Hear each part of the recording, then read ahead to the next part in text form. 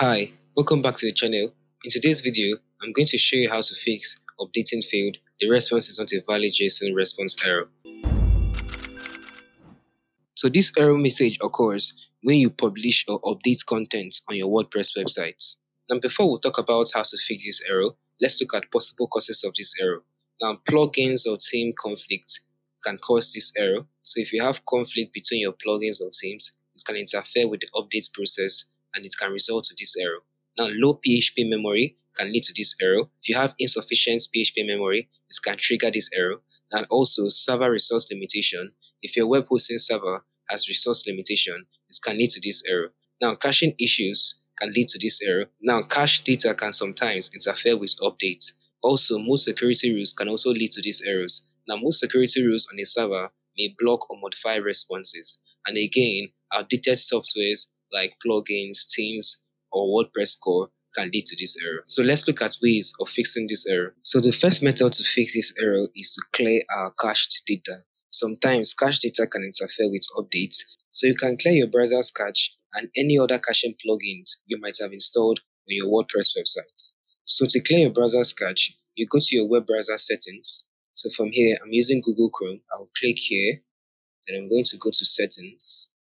Then I'll search for cache and I'll click on clear browsing cache. Then you can click on the basic option or the advanced option. I'm going to click on advanced. Now you have the option to select these fields. I'm just going to leave this as default settings. Then you click on clear data.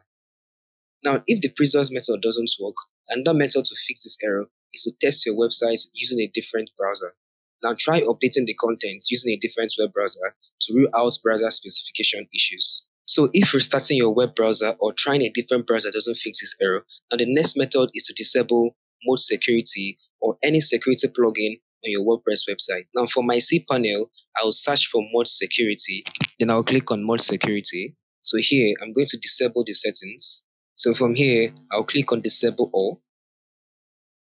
So the ModSecurity has been disabled successfully. Now check your website and upload the particular content to see if this method has fixed the error. Now if the error has been fixed successfully, you can go back and enable the ModSecurity. So I'll come back here and enable my security. Now after disabling the ModSecurity or any security plugins you have on your WordPress website and it doesn't fix the error, and the next method is to refresh your network settings, your internet connection. Now you can check your website to see if the error has been fixed successfully. Now after refreshing your internet connection and the error doesn't go away, now the next method is to check our WordPress URL settings.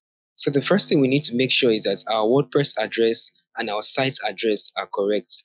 So to do that, I'll go to settings and I'll click on general and ensure that your WordPress address and your site address are the same. So you can see that my WordPress address is the same with my site's address. So you scroll up and you save your changes.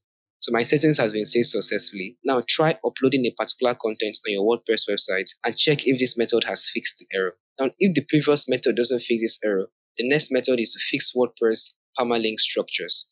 So I'll go to settings. From here, I'll click on permalinks. So from here, I have my permalink set to post name. Now you can use any default settings here or you can just use the plain settings. But here I'm going to click post name and I'll scroll up and I'll save my changes. Now try uploading a particular content on your WordPress website to check if this method has fixed the error. And if the previous method doesn't fix this error, the next method is to deactivate our plugins and our theme. So I'll go to plugins, I'll click on installed plugins. Now from here, I'm going to select all my plugins. Now click on the bulk actions, I'll click on deactivate, then I'll apply my changes. So my plugins has been deactivated successfully. Now you check your website to see if the error has been fixed. And if the error has been fixed, that means one of the plugins on your website is causing this error. Now what to do here is to activate the plugins one after the other to see the plugin that is causing this error.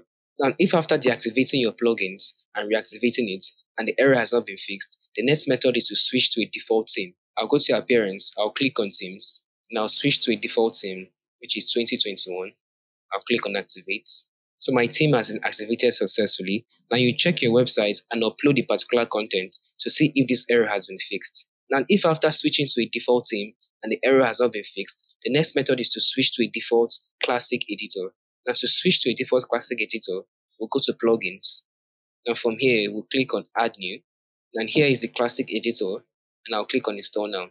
Now activate the plugin.